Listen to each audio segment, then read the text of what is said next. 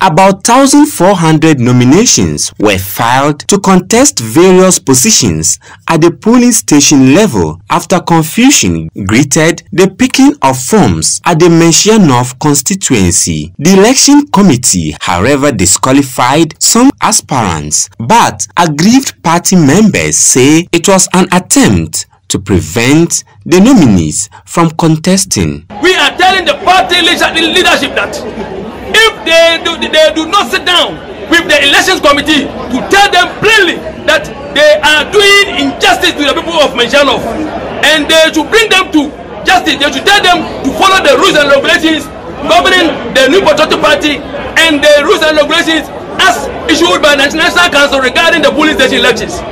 If they do not stop them from conducting separate and be, uh, talk talk elections in Menjanov we are going to mass up tomorrow at the various police stations. The deployment of joint police and military officers to the constituency did not stop aggrieved party members from disrupting the elections which were to be held in 11 out of the 137 polling stations. Why are they perpetuating injustice on the people?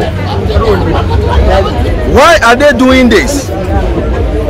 So many issues have been raised, but let me call on the leadership of the party to step in because we will continue to resist any useless and evil machination yes. Yes. as far as this yes. election is concerned. Yes.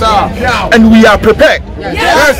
We are ever prepared. Yes. Even though it will cost our life, yes. we will ensure justice yes. for the people of Mesiano. Yes.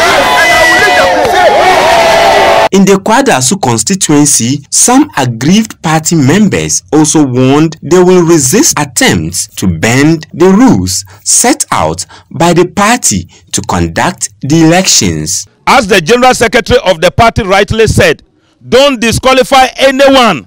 Let every member of the party who pick a nomination form and return same be given the be given the same chance to contest. If they lose, they know they contested and lose. Yes. But when you unduly disqualify them, then you are making the party unpopular, and that will thwart our effort of breaking the eight to consolidate the gains made so far.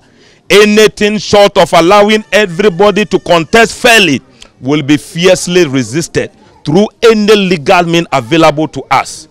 Looking at what happened before 2020 election, and the results just thereafter, it is surprising that any loyal party member with the right intention for the party will want to take the same path that leads us to a current situation where an opposition party member is now the speaker of a parliament we claim to be a majority controllers.